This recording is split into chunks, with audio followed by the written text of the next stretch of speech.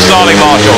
Chris Harris looks down at the tapes in red, but this time a flyer for Lee Richardson takes him to the front, and that's Lee Richardson in the green helmet colours. Round the outside in yellow is Stuart Robson coming through now to take the inside of Robson, sending Robson wide. That's the man in red, Chris Harris, but he did Robson a favour because his grip round the outside is taken him by two riders and to fly. Yeah, great move there by Robbo, and like you say, with uh, Bomber pushing him wide, it did him a favour. It got him into the grip and he pulled away. And I've seen him ride here before and do this sort of stuff. And um, I mentioned it in his earlier ride. Robbo is very quick around here if he can get out there.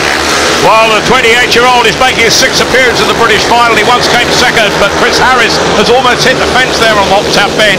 But Stuart Robson, taken wide once by Chris Harris, has benefited him, Steve, and into the final lap he goes in front by margin. Lee Richardson set to take second place if it stays like this.